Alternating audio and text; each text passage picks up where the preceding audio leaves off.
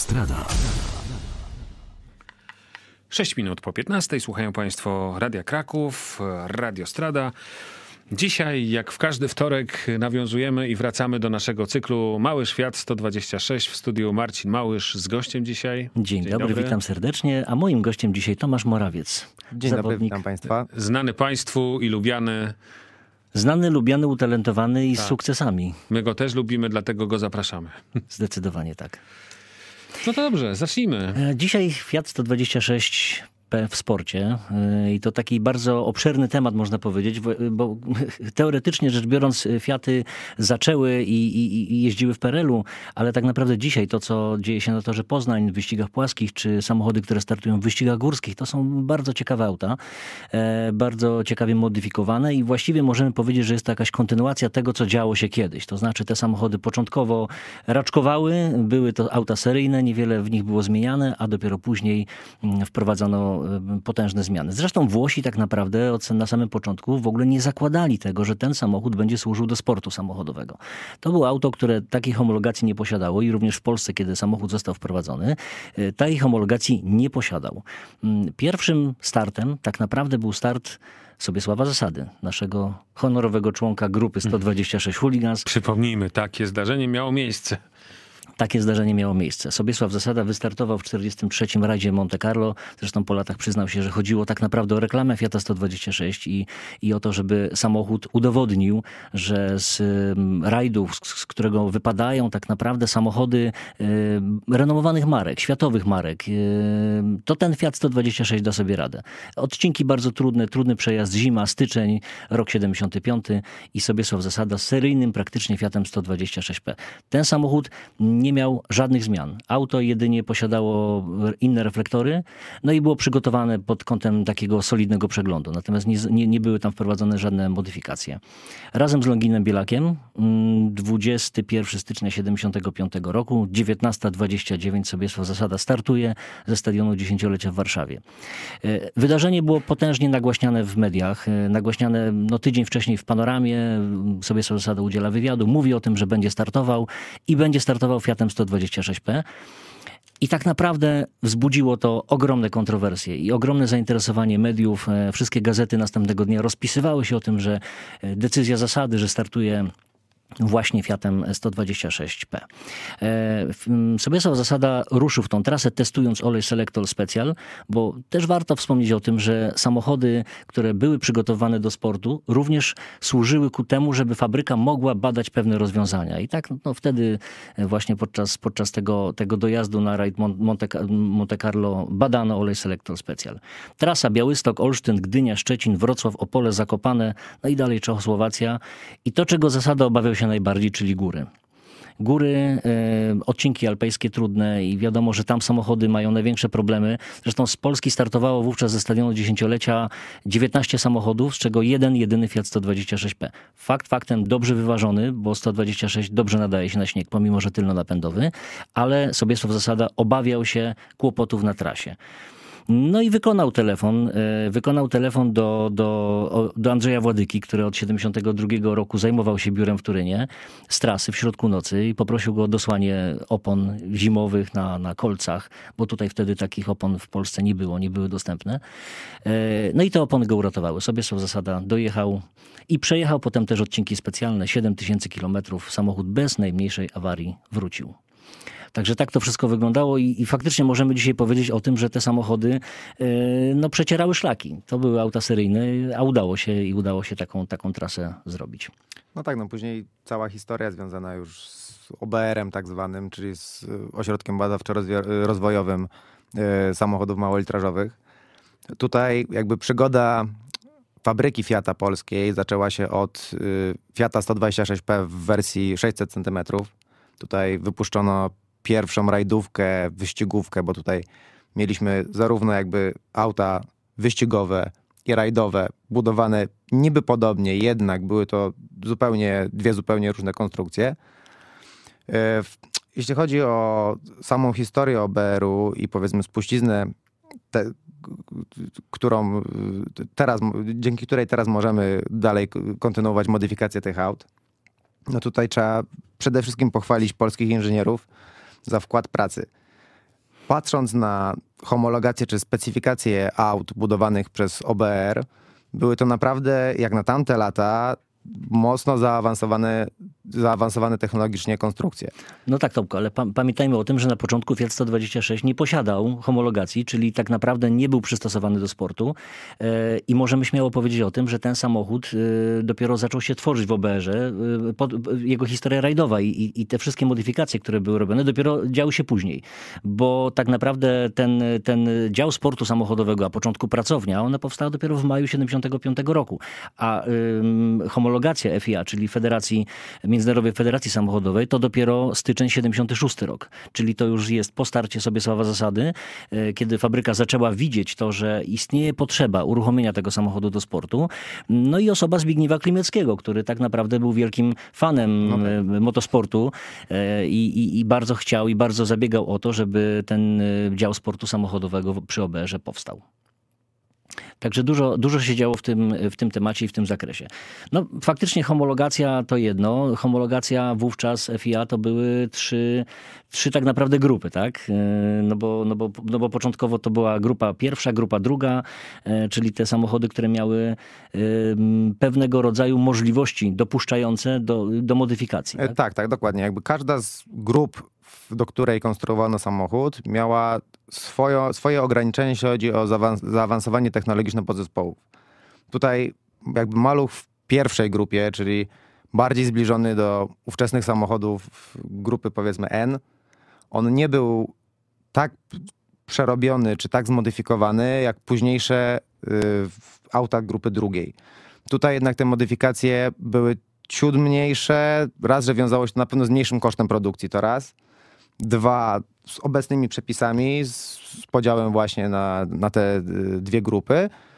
Poza tym, biorąc pod uwagę już samą taką kwestię techniczną i to, jak te auta, czy te silniki przede wszystkim w tych autach y, były wykonane, niesamowite jest to, że biorąc pod uwagę, że mamy lata 70., niektóre rozwiązania były dokładnie takie same, jak w obecnym sporcie, czy w przypadku mojego obecnego malucha, który startuje w, chociażby w tym roku, czy w zeszłym roku w Mistrzostwach Polski w wyścigach górskich. No tak, no bo tak jak powiedzieliśmy na samym początku, była, dziś, dzisiejsze samochody przystosowane dzisiaj do sportu, mówię tutaj o Fiatie 126, to są auta, które tak naprawdę są spuścizną tego, co działo się wtedy, czyli, czyli na początku wszystkie kroki, ciężkie kroki, milowe kroki, jeżeli chodzi o, no dzisiaj modne słowo tuning, tak, o tuningowanie samochodów, to tak naprawdę wtedy miało miejsce. Dopiero teraz e, samochody, te, które jeżdżą, no już e, wiadomo, że materiały stosowane dzisiaj są zupełnie inne, ale zasada działania i zasada przerabiania tych silników jest dokładnie taka sama. E, tak, dokładnie. Jeżeli popatrzymy na specyfikację szczególnie aut ówczesnej grupy drugiej, to tutaj warto podkreślić, że stosowali takie części jak kuty wałek rozrządu, jak kute tłoki, co mimo wszystko nawet w dzisiejszych czasach nie jest rzeczą oczywistą przy tuningu malucha. Wykorzystywany był gaźnik Webera 45 DCOE. Ten taki dwugardzielowy. Jest to dwugardzielowy dokładnie tak gaźnik, na którym obecnie ja jeżdżę, no ale mimo tego upływu czasu są to rozwiązania, które w dalszym ciągu się sprawdzają. I jak nawet na dzisiejsze czasy są dość mocno zaawansowane technicznie. To teraz przerwa. Kilka słów dla kierowców za moment, tych, którzy za kierownicą i parę wiadomości, co dzieje się na drogach i wrócimy za chwilę do tej rozmowy o małych Fiatach.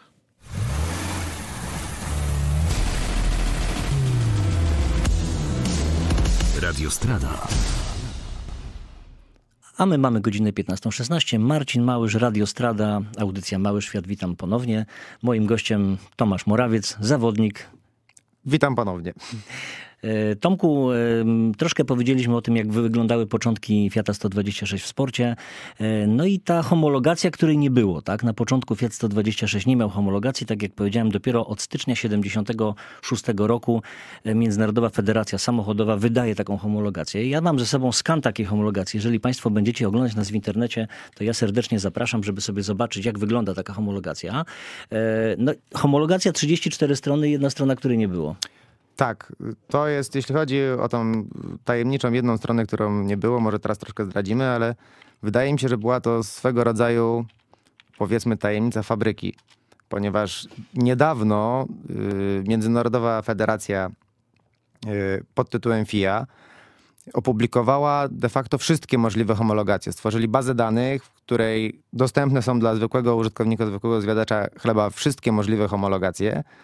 Więc teraz mamy łatwy dostęp do, do tych materiałów i dzięki temu udało mi się gdzieś tam wyszukać, że w homologacji brakuje faktycznie jednej strony.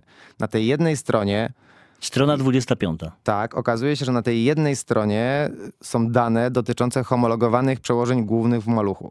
Czyli skrzynia biegów. Czyli skrzynia biegów, dokładniej przełożenie, które de facto determinuje prędkość maksymalną samochodu lub, Lub skłonności do jego przyspieszania. Mhm.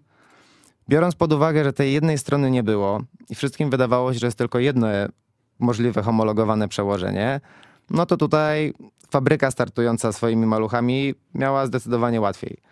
Okazuje się, że w tej jednej feralnej stronie FIA dopuściła jako część homologowaną y, przełożenie główne z Fiata 500, które ma o przełożenie maluchowskie główne, to jest z tego co pamiętam 8,39, a y, przełożenie główne z Fiata 500 to jest 8,41.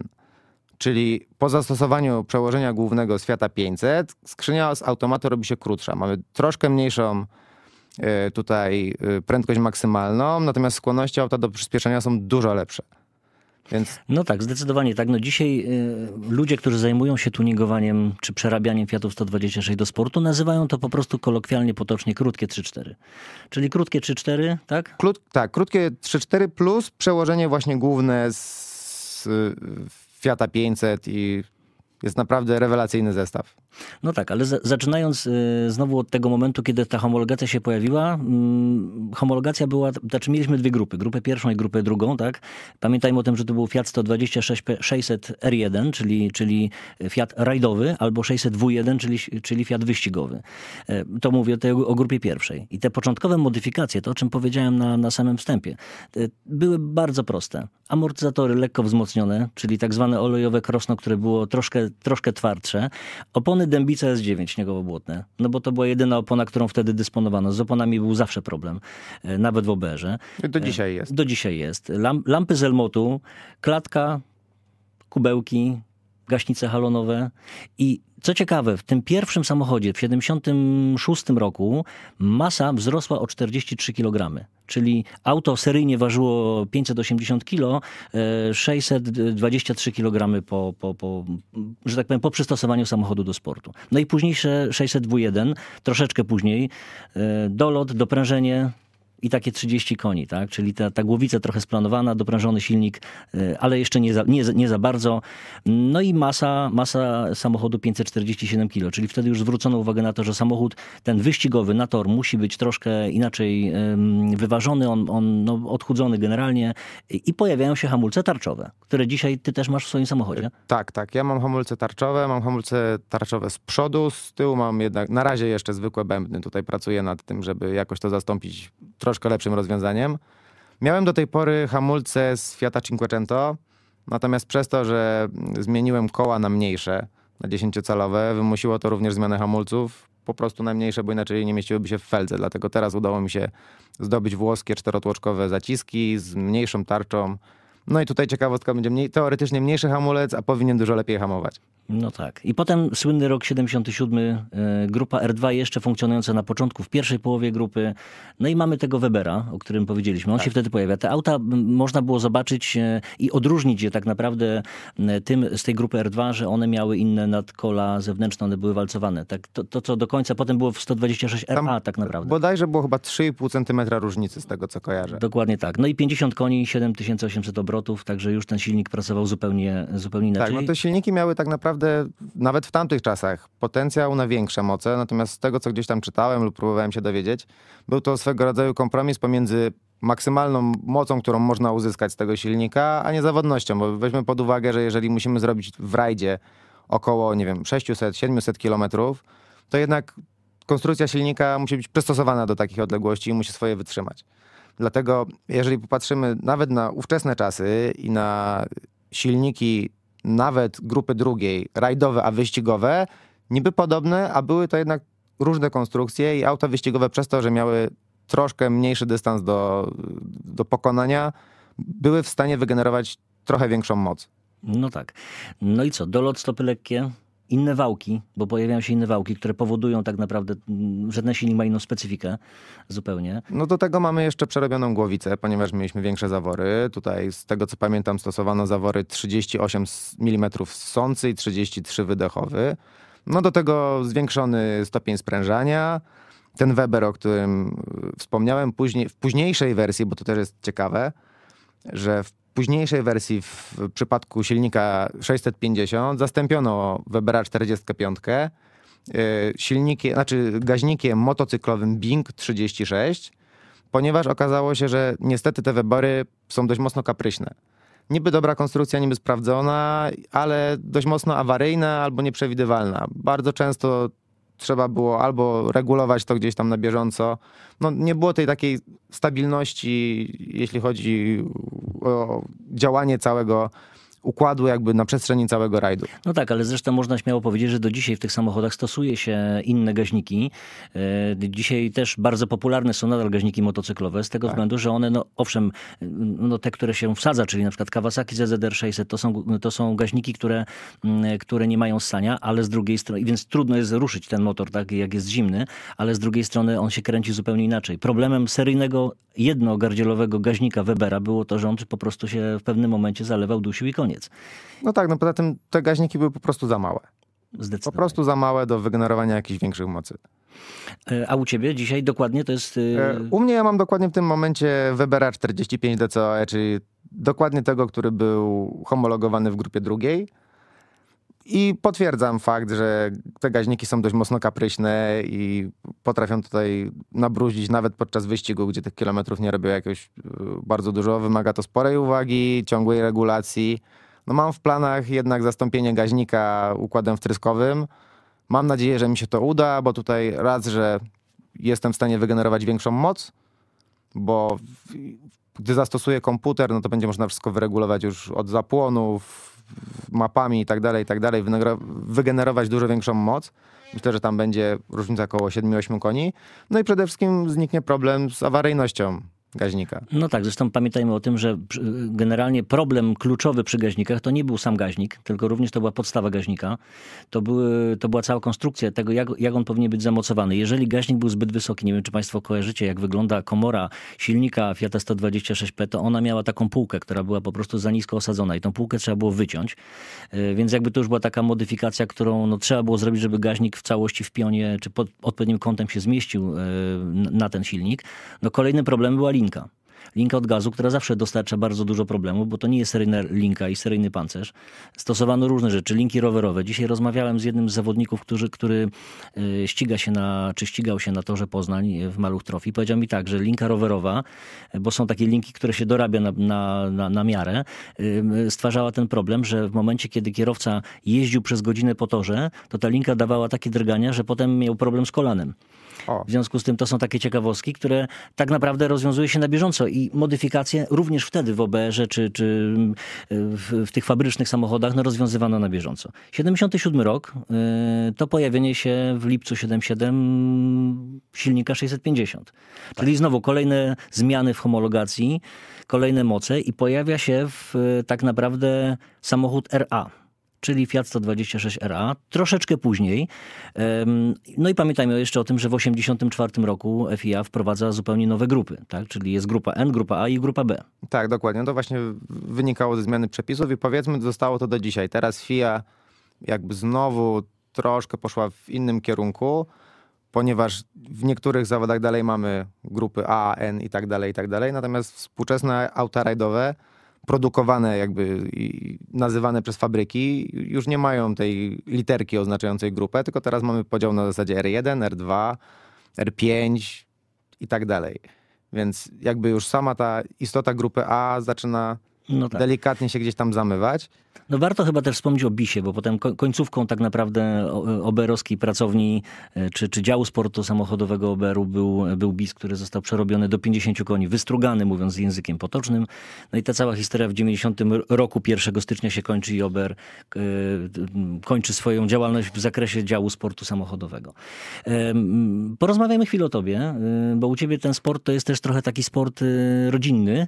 E, Tato jeździł, E, siostra wspiera. Tak, dokładnie. No u mnie, tak jak już kiedyś wspominałem, jest to tradycja rodzinna, którą gdzieś tam zostałem obciążony w genach. Mój tata, gdy był mniej więcej w moim wieku, również jeździł w rajdach, w wyścigach, dlatego, dlatego też i, i ja się zaraziłem tą pasją, ale zaangażowana jest de facto cała rodzina, bo to i, i siostra, która z nami jeździ, i mama, która z nami jeździ, musi wytrzymywać y, całą tą sytuację związaną z naszą nieobecnością. Siostrę poznaliśmy na Kraków Safety Show. E, Jeździliście z grupą Hooligans e, pokazowo. Siostra się też tam pokazała gdzieś, także, także widzę, Tak, że tak. jest aktywna. Tak? Siostra odpowiada za y, PR i media społecznościowe, więc taką rolę akurat dostała powiedzmy w naszym rodzinnym zespole. Super. E, Tomku, bardzo dziękuję. E, Bardzo było miło z tobą spotkać się tutaj w radiu i mam nadzieję, że nie jest to nasze ostatnie spotkanie. E, Również mam taką nadzieję. Bardzo chętnie jeszcze porozmawiałbym na temat sportowych maluchów i modyfikacji, które można gdzieś tam wprowadzić. A ja Państwu zdradzę jeszcze taką niespodziankę i tajemnicę, że wczoraj grupa 126 Hooligans nabyła kolejny samochód e, wyścigowy i to jest auto, które też modyfikowane do sportu i niebawem Państwo go zobaczą. Bardzo dziękuję, Marcin Małysz. Marcin Koczyba i Dziękuję Tomasz bardzo. Morawiec.